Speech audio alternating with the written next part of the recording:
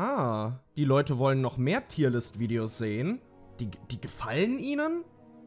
Ja, okay, gerne. Äh, oh, hallo Leute, da seid ihr ja schon. Ihr seid ja hier äh, ganz schön fix unterwegs. Äh, herzlich willkommen hier zu einer neuen Tierlist-Folge auf meinem Kanal. Denn wie ihr sehen könnt, habe ich wieder ein bisschen was vorbereitet. Eine Tierlist, die ich selbst erstellt habe, die ihr natürlich wieder in der Infobox findet und die ihr sehr, sehr gerne selber mal ausprobieren könnt. Ich bin gespannt, wie ihr das Ganze einsortieren werdet. Heute knüpfen wir uns nämlich, ja, die Anfangsszenen, also die Intros der verschiedenen Harry Potter Filme vor. Denn vielleicht erinnert sich der eine oder andere, dass wir vor einigen Wochen die Endszenen bewertet haben. Und da habe ich viele Kommentare von euch bekommen. Yo, Daniel, mach das gleiche doch nochmal für die Anfangsszenen, die Intros. Und von daher, voila!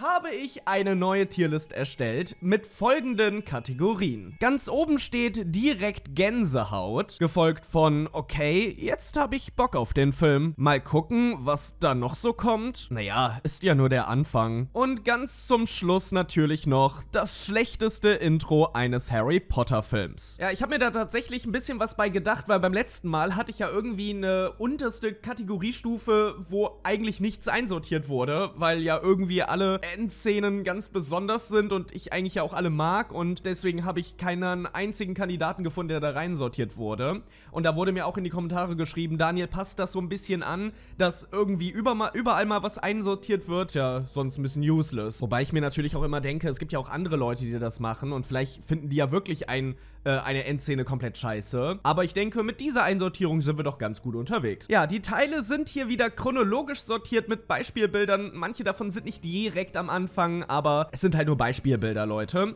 Da haben wir Teil 1, Dumbledore und Minerva McGonagall, wie sie Harry zu den Dursleys bringen. Teil 2, allerdings im Fort Anglia. Die Anfangsszene ist ja doch eine andere, aber wir bewerten die reale, originale Anfangsszene, nicht die Szene in Fort Anglia. Dann haben wir hier noch Teil 3, Teil 4, Teil 5, Teil 6, Teil 7.1 und Teil 7.2. Gut, ich glaube, das Prozedere sollte klar sein, Leute. Von daher starten wir. Beginnen wir also mit Harry Potter und der Stein der Weisen. Die Szenerie beginnt ja ganz am Anfang mit Albus Dumbledore, der den Ligusterweg hinunterschreitet und mit seinem Ausmacher die ganzen Lichter entfernt. Dann kommt McGonagall, dann kommt Hagrid mit Baby Harry und die drei legen das Baby vor die Türe der Dursleys. Ja, eine meiner Meinung nach sehr atmosphärische Szene. Äh, in den Büchern war es ja ein ganz kleines bisschen anders. Da fing das Buch ja mit der Geschichte der Dursleys an, also deren normaler Alltag, wo, wo Harry eben noch nicht bei denen war, hat eben die Charaktere so, hat so ein bisschen die Charaktere vorgestellt. Ich muss aber sagen, im Film hat mir diese Reihenfolge doch ein bisschen besser gefallen, weil man so direkt die, diesen magischen Input bekommen hat, gemerkt hat, okay, hier geht's um Zauberei und so. Und die Geschichte der Dursleys wurde ja dann nachträglich nochmal erzählt, als Harry dann schon ein bisschen älter war.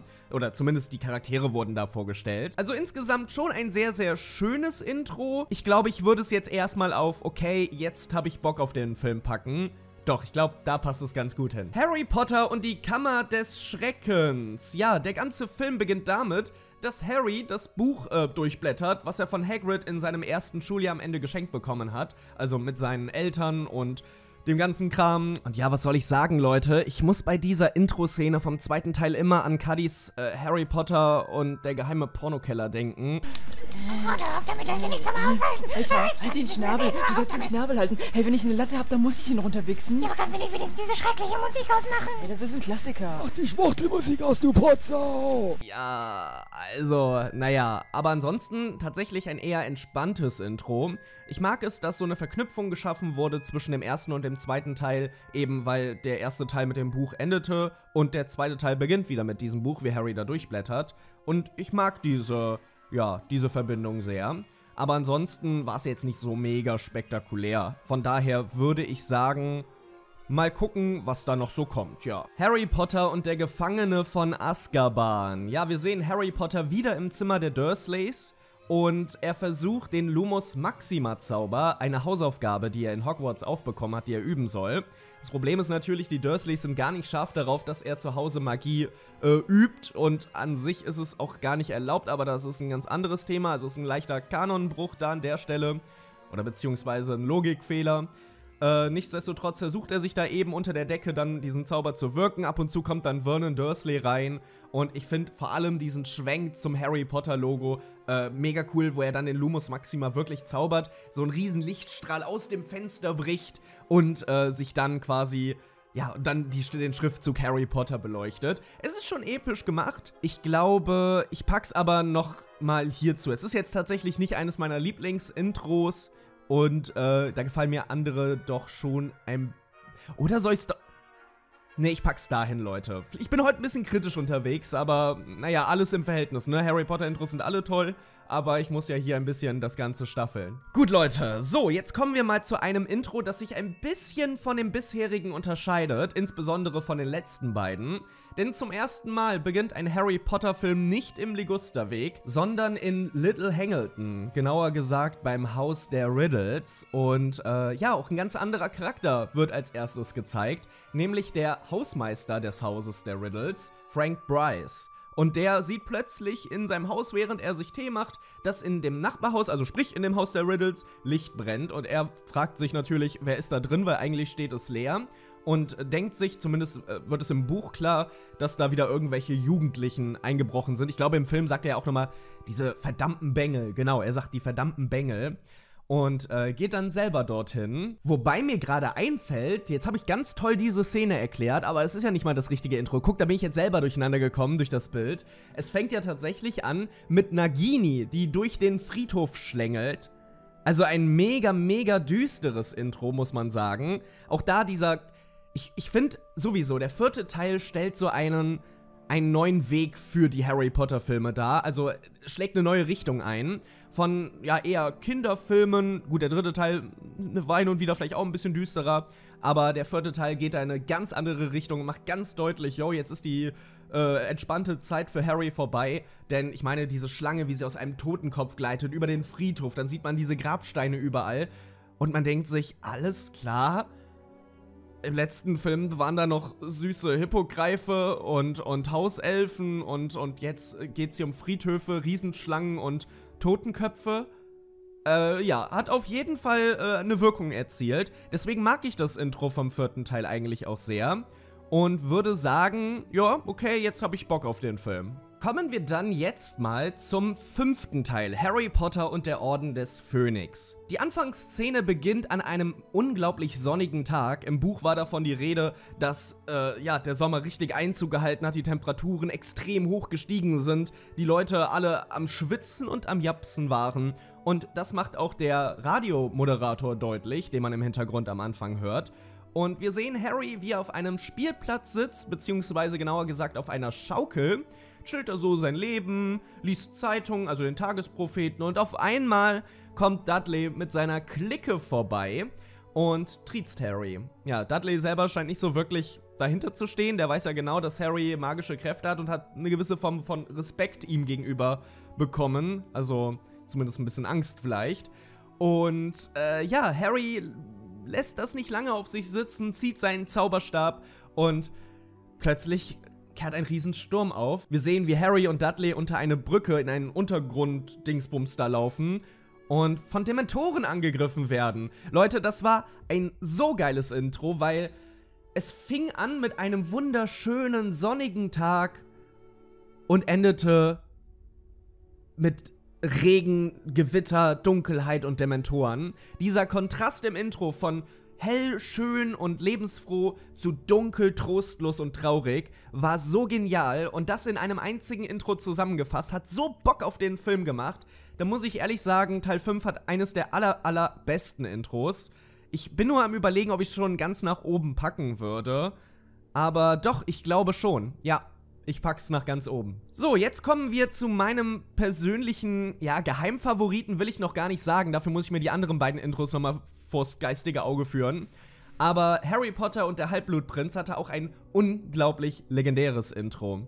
Es beginnt mit der Endszene von Teil 5, wo Harry in der Mysteriumsabteilung mit Dumbledore steht, von ganz vielen Reportern fotografiert wird und man sieht ihm diese pure Traurigkeit an, weil ja kurz zuvor Sirius Black getötet wurde. Ja, ich fand's auch sehr rührend, wie Dumbledore dann seine Hand um ihn legt und ihn an sich randrückt und ja, schon fast so eine Art Vaterfigur in dem Moment war.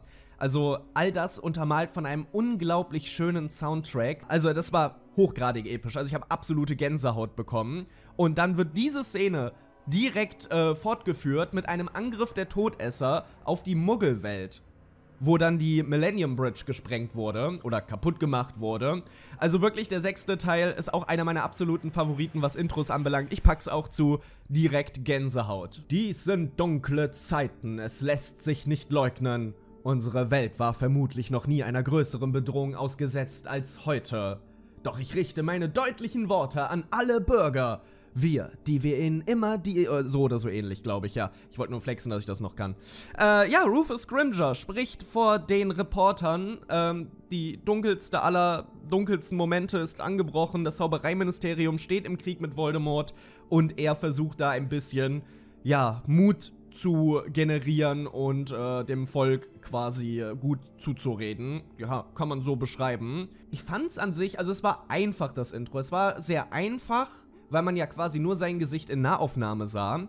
Aber er hatte in seiner Stimme so eine Kraft und so einen Ausdruck, dass es irgendwie auch schon wieder Gänsehaut ausgelöst hat. Aber ich würde es jetzt definitiv nicht ganz nach oben packen. Jetzt hält mir gerade auf, das letzte muss ja eigentlich noch eingesetzt werden, weil das schlechteste Intro eines HP-Films heißt ja nicht, dass es konsequent schlecht ist, sondern nur, dass es schlechter ist als alle anderen Intros, die dann sonst noch vorhanden sind. Das hätte ich vielleicht berücksichtigen sollen bei meiner Bewertung.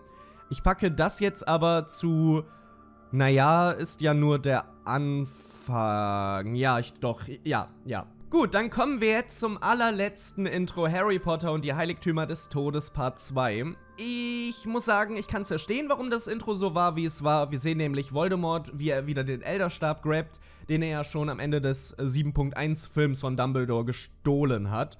Also doch kann man ja schon so sagen, ne? Ähm, die Szene wiederholt sich mehr oder weniger eigentlich nur. Man sieht Voldemort wieder diesen gigantischen Lichtblitz in den Himmel schießen. Ich kann sagen, wenn es jetzt ein ganz anderer Teil gewesen wäre, hätte ich es ein bisschen lame gefunden, weil die Szene war ja, soweit ich weiß, fast ganz eins zu eins wie zum vorherigen Teil. Aber es hat ja irgendwo Sinn gemacht, weil 7.1, 7.2, die beiden Filme hängen nun mal zusammen. Es sind beides Teil 7 Filme.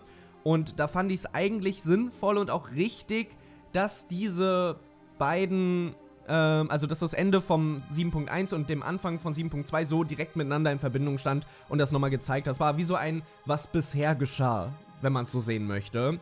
Deswegen will ich da gar nicht zu sagen. Ich pack's, ich glaube aber, ich würde es doch hier reinpacken, weil von allen Intros finde ich es dann doch am schwächsten. Ja. Gut, Leute, ich habe jetzt meine Intros hier soweit einsortiert. Mir ist nur eine Sache gerade eingefallen, die ich in Bezug auf Harry Potter und die Heiligtümer des Todes Part 1 nicht erwähnt habe. Denn das Ganze am Anfang, also es war ja nicht nur Scrimger am Anfang, sondern es ging ja auch damit weiter, und das würde ich auch noch zum Intro zählen, wie Hermine ihre Eltern obliviert hat und Ron und Harry auch noch bei ihren Familien waren und dabei natürlich dieser unglaublich wunderschöne Soundtrack, ich glaube Lily's Theme oder Hedwig's Theme war das, glaube ich. Nee, Lily's Theme, was laber ich? ich? Ja, ja, ich meine schon. Korrigiert mich, wenn ich falsch liege. Äh, ja, das war natürlich mega cool. Deswegen eigentlich ist es doch, ich, ich ändere diese Bewertung nochmal und ähm, ich pack's doch nach oben. Ich muss es einfach ändern. Das ist jetzt ein krasser Switch hier, aber wenn man diese Szene mit einberechnet, dann muss das einfach so einsortiert werden. Okay, Leute, dann würde ich das Ganze jetzt so belassen. Ich bin mal gespannt, wie ihr das Ganze hier bewerten werdet, wie eure Tierlist dazu aussieht und lasst mir mal unbedingt eure Meinung zu meiner Einordnung da. Würdet ihr die teilen? Findet ihr die komplett weird? Ähm, oder würdet ihr gewisse Teile ganz woanders sehen? Ich bin sehr gespannt. Lasst mir auch gerne einen Daumen nach oben da, wenn euch die heutige Tierlist-Folge gefallen hat. Gerne auch ein Abo auf meinem Logo und dann sehen wir uns hoffentlich wieder zum nächsten Video. Ich freue mich sehr auf euch alle. Haltet die Ohren steif und bis dann. Ciao, Leute.